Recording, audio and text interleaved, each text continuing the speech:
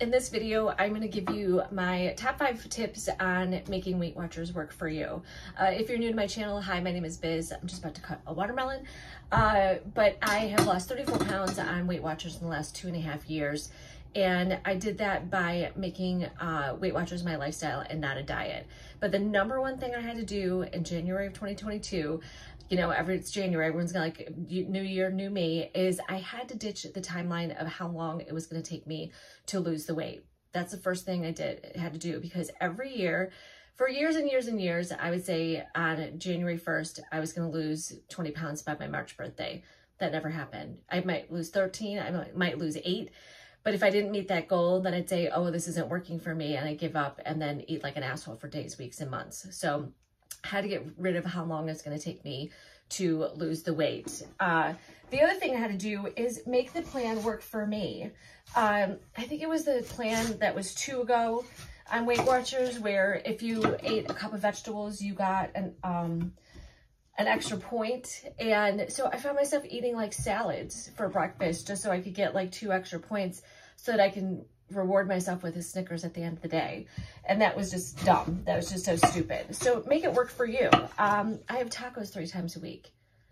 I have pizza twice a week. I have chicken nuggets and fries once a week. So it's all within my points, uh, and I just have to make it work. So if I have, let's say, a 15 point lunch, well, then I have to adjust the other two meals around it, and then it, it all works out. Uh, whereas before, if I had a 15 point meal or even a 20 point meal or even more, uh, I would tell myself that I just had no willpower and that I would um, just give up and then just eat junk for a day, a week, a month before I got like back on. And the next thing is I also had to um, get rid of the all or nothing mentality. Like who who says that you have to get 10,000 steps, journal, meditate, meal prep, do your job, uh, all those things every single day. And I could keep those balls in the air for, you know, a little bit, but the second one dropped on the ground, I, that's all I thought about. And I was like, oh, well, I can't even, can't even do that. So I just do the best I can every single day. That's all I can do. And just, you know, the, yesterday's gone, tomorrow's not here. I just have to focus on today. Um, oh, fine. Yeah, that, that's the other thing. I always have to, if I were in previous, what am I going to say? In previous um, years, I'd either do really good with food and not good with exercise or really good with exercise and not food. But I had to separate the two because I thought that if I exercised and my Apple Watch told me that I burned 500 calories, that I could eat an extra 500 calories. That does not work that way. So I've had to separate food from, let me just, can we see how good this, it's November. And look at how good that, that watermelon is. Um, I can't food and, and exercise has to be separate, but I have to do them both consistently. And um, I found swimming, love swimming, and I've been strength training since February. So I'm really proud of myself uh, for that because um, it's, I know that as I get older, I'm 56, that I'm going to need that um, muscle so that if I drop something on the ground, I can pick it up, that I can empty the dishwasher and put dishes away. Maybe someday I'll have kitchen cabinets. I don't know. Uh, but uh, just find something that you like. And it doesn't have to be aggressive. You know, there's a million YouTube videos out there. I'll leave a link below. I have some of my favorite YouTube videos that I do um, because I'm really picky about my YouTube videos. They can't talk too much and it has to be really good music. Um, but yeah, so uh, just find something you do. And walking is the cheapest and easiest thing you can do. You can do it in your house. You can do it around your, your block. You don't need a gym membership. And it, my friend Andrew, I'll leave his link down below too, uh, has lost 180 pounds, mainly walking. Obviously changing his diet as well, but walking was his only form of exercise. Do you remember when Weight Watchers had their um, colored plans? I think it was green, blue, and purple uh, I said I was on Team Turquoise, and so my friend Morgan gave me this mug because uh, I said Team Turquoise, everything is zero points. And if I mentioned that in stories at the time, people are like, wait, what plan is that? How, how are you on that plan?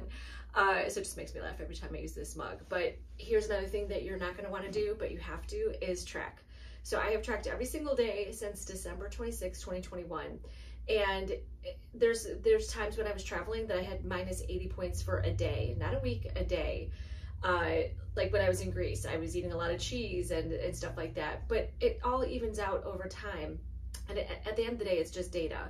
But you can see how your patterns, and if you had a loss, you can look back and see, okay, maybe I had more protein this week. Maybe I had a little bit more fiber. Um, and now um, by the time, by December of 2024, everyone should have at the bottom of their app uh, all the macros and it'll tell you how many grams of protein, uh, fiber, carbs, and I can't remember what the, oh, sodium is the other one. Uh, the other day I had pickles and deli ham and stuff like that. I think I had almost 4,000 milligrams of sodium. So that's another thing. If your scale is up, it could be just ex ex excess sodium. Um, but anyway, that's besides the point. But you do have to track, and it doesn't really take all that time, much time.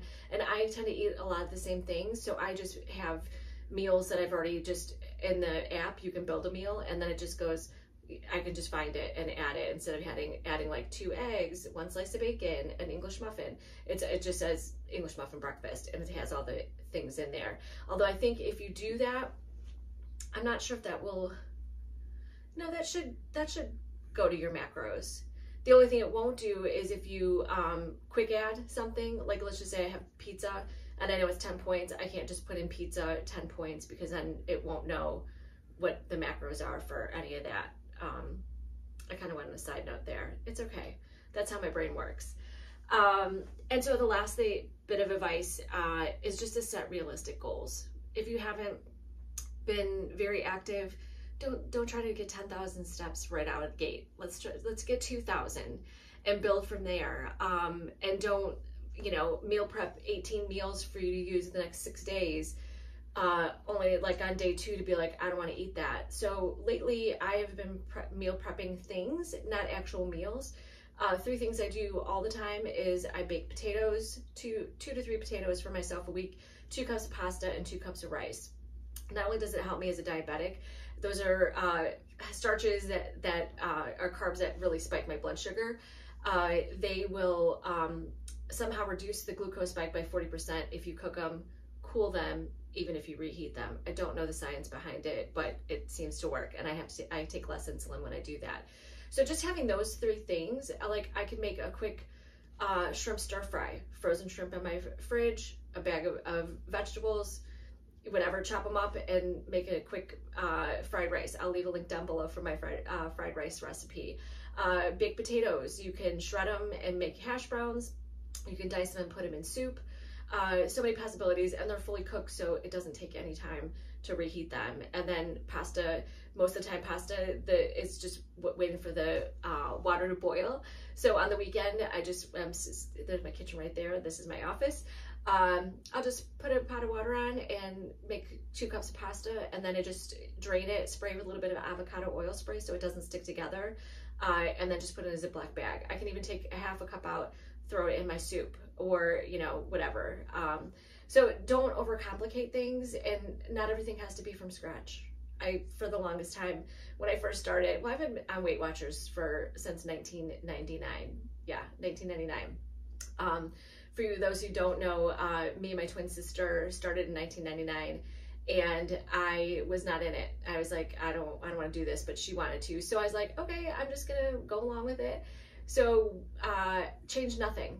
Hannah and I lived upstairs, she and her family lived downstairs, and I was making pizza and cooking bacon, and Jen's like, I was like, it's for Hannah. Don't don't worry about it. So that very first week, um, I went to step on the scale, and I was like, I'm screwed, and they said I lost five pounds, and I was like, oh my god. I'm like, all I had to do was just say that I'm, you know, on Weight Watchers, and the weight falls off. But at the time, I did not know that I was an undiagnosed diabetic, so I had rapid weight loss excessive thirst, excessive urination, but I all those things I attributed to just Weight Watchers. Uh, so that was kind of a wake up call once I finally got diagnosed as a diabetic that I really needed to get my health in order. So I lost, we both lost 70 pounds in about 15 months. And I kept that off for years. And uh, it wasn't until my husband got sick in 2007, until he died in 2014, that his needs came way before mine and slowly about 45 pounds came back on. Uh, never got back over 200, but came close very many times. Um, but I, I just had to make this a lifestyle and not think of it as diet because people my age, just the diet culture that we grew up in is um, work out really hard, eat hard, hardly any calories, you know, and we just have to get rid of that. I don't eat anything fat free, nothing. My cheese is real, uh, my bread is real. I make sourdough, I eat that.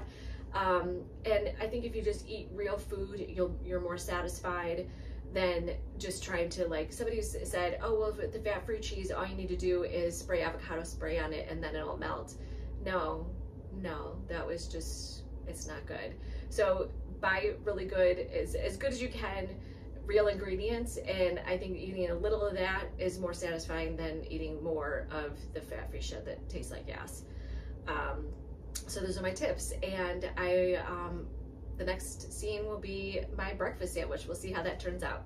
Right now, I'm just about to make some potato bread. It's where you take slices potatoes and bake it with cheese and it becomes like this potato bread.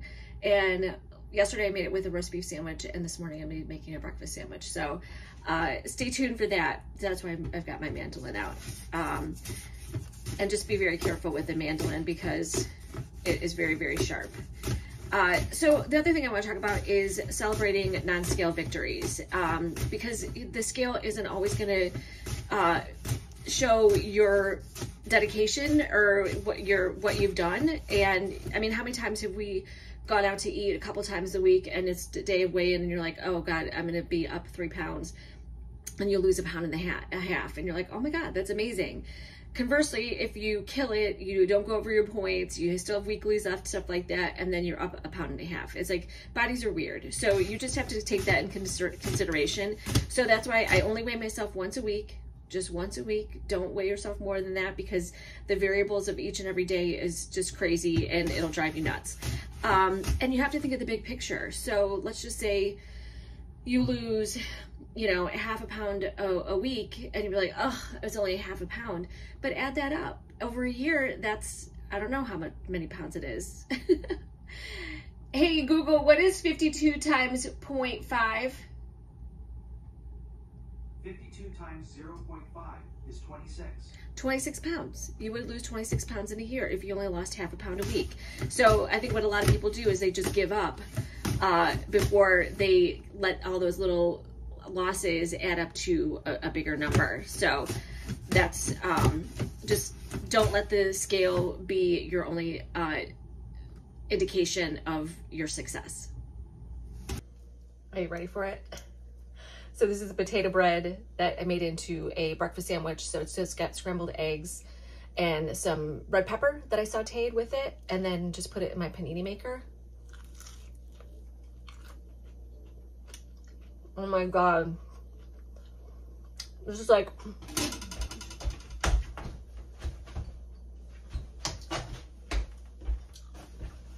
that's one of the best things I've made in a while. Fantastic. Um, if you like this video, uh, please give it a thumbs up. If you are not already subscribed, uh, we would appreciate if you, if you subscribe. Uh, but I hope this video um, helped you kind of reframe your mind about your weight loss journey and health journey. That's how I'm looking at as a health journey, not a weight loss journey. The weight loss is kind of a bonus on it. But um, just uh, let me know in the comments if you have any questions, and we'll see you in the next video.